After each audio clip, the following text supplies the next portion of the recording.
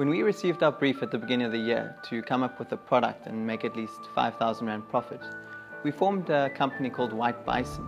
And as industrial design students, we looked to the problems that we had been faced with uh, throughout our three to three and a half years of, of industrial design.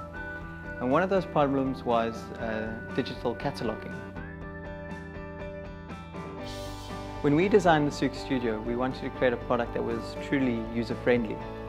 And in order to do this, we knew that our product needed to be both uh, portable and understandable. So throughout the development of the SOOC Studio, we made use of user testing and we thought that was quite helpful as we needed to take the requirements and needs of the user in consideration. We knew that in order to create a really good product, we had to look at both its function and its quality. Thus, we sourced a local manufacturer that was very well established and had vast amounts of experience in the line of work.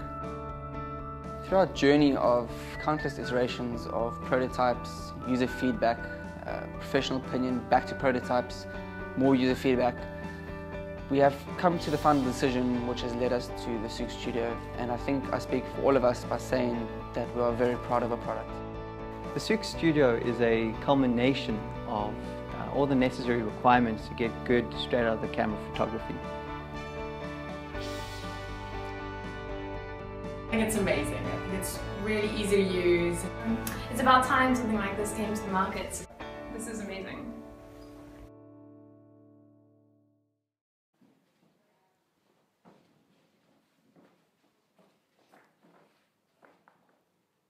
We are White Bison. Thank you for watching.